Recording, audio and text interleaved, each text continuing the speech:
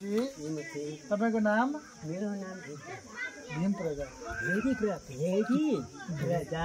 Very प्रजा। कहाँ बस्नुहुन्छ तपाईँ? हामी घरमा। ए। घरमा जला गर्नु सक्दैनौँ। घाम पर्छ। घाम पर्छ। त्यो एकछिन बनाएको त कति बेला। हामी भनेपछि खाना खान केही छैन। एकदम निकै पनि छैन केही खानु छैन। म भोकै खोले खाएर बस्छु। ए फेरि घाम पनि निकै छ धेरै पानी आएन।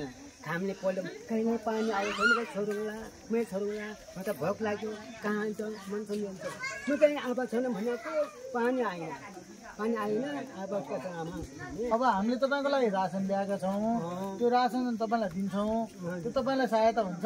साह्रो हुन्छ खुसी हुन्छ। खुसी हुन्छ? खुसी हुन्छ यति भने खोले खाने भने राम्रो।